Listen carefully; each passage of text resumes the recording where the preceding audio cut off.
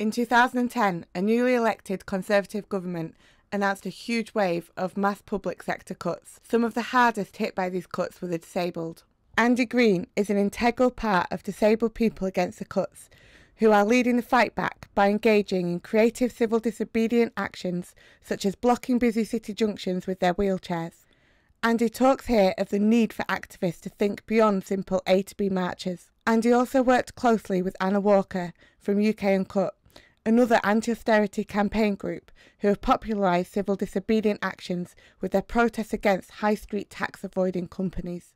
The TUC does marches, um, they do them very well. You know, they put lots of people out on the street to take them from point A to point B, have a lot of very worthy people on stage to tell you um, how things should be. We found a lot of the old school kind of campaigning, the petitions, the reports, the lobbying, the marching. But I also think we found the kind of media driven event campaigning, gig campaigning, for want of a better word. These events very much bring people into a space to tell others what their story is. And I think that's a key difference. Just the participation, not just on the day, but they also give people an opportunity to contribute to the building of um, these events, you know, um, through ideas, through social media, through, um, you know, putting on your own local events around the country um, for people who haven't maybe been involved in politics in any way before. They're a safe environment to come and get involved. They're family friendly. I think within the mainstream media, there's been a general feeling that the counter narrative and not just activists but people's stories individual stories aren't given that same weight or space it's kind of using the media's own rules or you know using the media's own kind of criteria for stories and turning that on itself and, and, come up with something that demands attention that demands space in in the mainstream media simply because um, it feeds into what newsmakers want probably people were best known for the Atos stuff. And Atos are a French IT company who have been brought in by the government to run parts of welfare reform around assessing disabled people for their eligibility for their disability benefit. It brought the issue right clearly there. We used that opportunity around the Paralympics to get into the homes of every single person in this country day after day, get into the headlines of the news, of the broadcast news, of the print journalism, of online journalism. We dragged them through the headlines for a week, and what we have done is make sure that everybody knows what they're up to, that everybody is scrutinising them far more. The Public Accounts Committee have come out and ripped them apart. Hundred or more parliamentarians have come out and signed a petition um, in Parliament for their, you know, contract to be ended. Without doubt, a huge part of it is that civil disobedience. We could have just stuck to campaigning and lobbying and marching and all those things. I think ultimately all of that goes on, right? But it gets you so far. And I think that all of that is done in the expectation that things will be given by those who make decisions and have the power to carry out these decisions. That they will give you something because you do this work, because you have asked for it. But they've never given anything. They've always, oh, those people have always had to have stuff taken from them. They've always had to have rights taken from them. They've always given it grudgingly. They would still have kids up chimneys. They would still be shipping people over from Africa in chains if people didn't stand up and demand that those things stopped happening. That's why those things stopped happening because people took risks and got out there.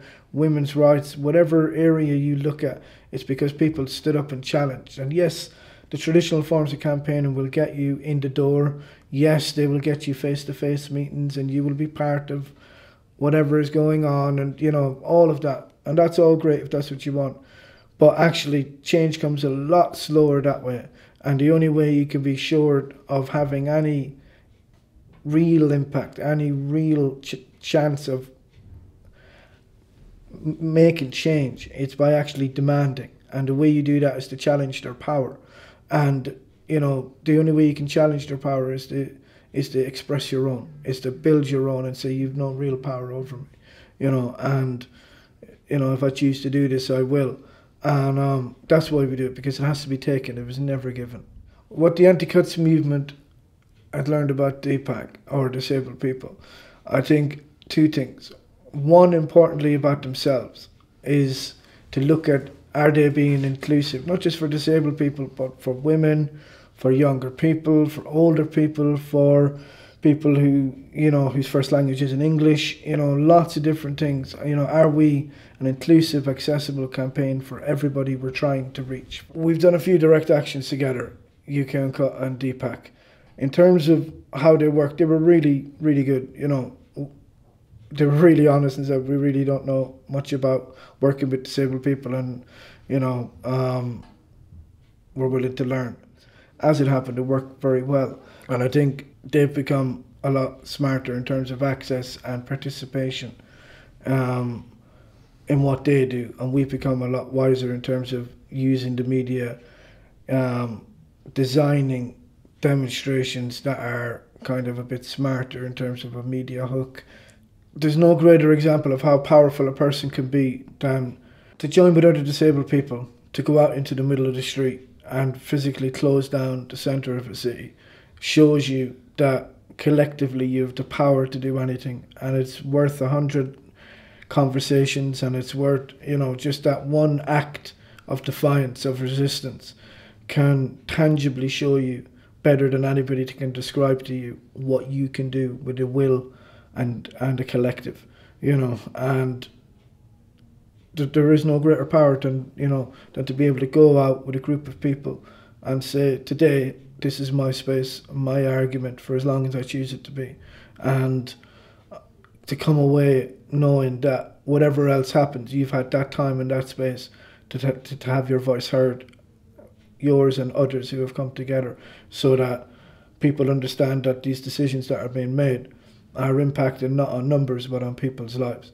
and we don't hear enough of that side.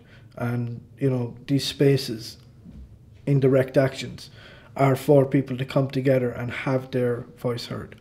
UK Uncut has had a, a message from from the start that's been we're in crisis. People people's lives are being devastated. Now is not the time for marching from A to B. We that's great, but people need to do more than that. I want to do more than that. My neighbours want to do more than that. Finding a way of creating actions that are taking people out of their comfort zone, but also at the same time not hugely intimidating, not for a very exclusive sort of set of activist people. I think that one of the great things about UK Uncut is that anybody at any age, anywhere in the country, can take action on their local high street with their parents and their children and their friends and their neighbours. It doesn't need to be sort of a highly trained crack squad of activists who um, who have formed an affinity group. We turned banks into libraries and we turned Topshop into a, a school playing field and we've turned Starbucks into women's refuges. But we've also done roadblocks with disabled activists. We've blocked off Westminster Bridge over the NHS bill. I think that going on marches is important. I think that signing petitions is important. I think writing to your MP or going to visit your MP is important. But I don't think it's enough. And I think that we have to do much, much more. The only way that we can challenge an economic system that has such a stranglehold on the way that this country is run and ultimately our day to day lives is by taking a step out of your comfort zone and trying to put your body in the way of something. I think direct action is about making a bold statement, making a powerful statement with not just not just words, not just you know a flick of a switch, a click of a mouse. If I felt that you know signing a petition would do the same thing, then I would gladly sign a petition. But I just don't think it's as effective because it doesn't give the same message of anger and desperation